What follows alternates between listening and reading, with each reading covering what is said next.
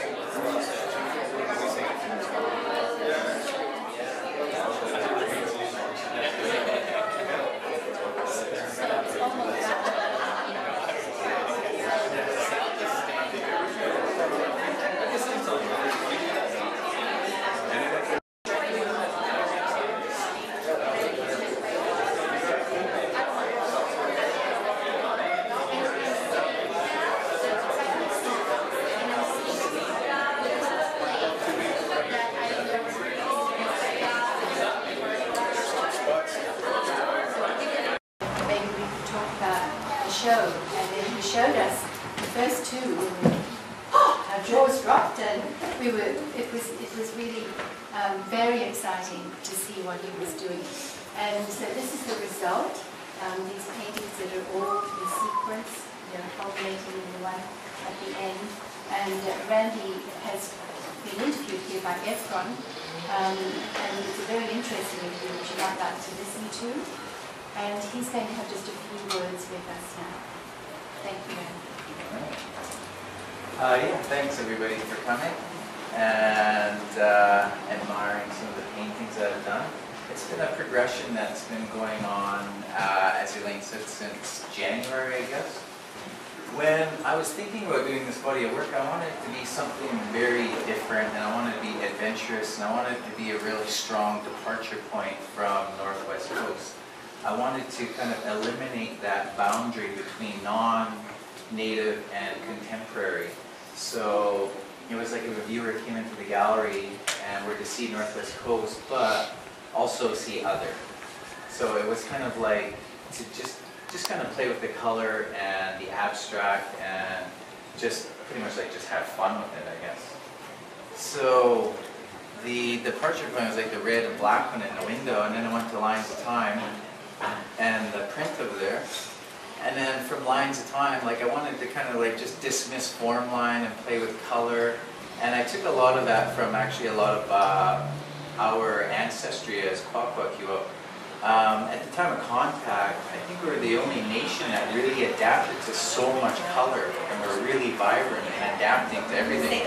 There's a lot of uh, like uh, at the time of contact, you seen like I, I hear some of our ancestors go like you know dances and songs about you know white dances and white you know happy dance songs and stuff that weren't traditional to us, and they carved masks about it. But not only that, like we used as much paint. Like if we got a new color, we used it. If we if we a new metal or something, we used it. There wasn't anything that we that restricted us, I guess you can say. And a prime example, when I came in and, and asked about doing the show, I brought a presentation in, and one of the big influences was Henry Speck. And he was a traditional artist from our, our area, but he used all these beautiful, vibrant colors, yellows and blues and everything. And then from him went to Doug Cranmer, who is another artist from our area, who in the 70s and late 60s, I did this contemporary line of work that was just so groundbreaking, I guess you can say, where everybody else in all the other Northwest Coast areas started to re-look at Northwest Coast art and how everything stood. And then it was kind of like a departure point. So for me, it was like everything that I do is pushing through and is like, okay, how can I be an artist, a Northwest Coast, a First Nations artist, and stand and have it stand on its own and not spend all my time in the museums and studying, studying, studying, and just replicating. And I don't want people to kind of like, you know, because it's been done. So it's like, okay, how can I take everything that I know and just keep moving forward and having fun because it's a whole new world that we're living in now and we're always moving and adapting and growing. So this is the progress of it. And as you can see, so I, you guys all enjoy it. I think that's about it.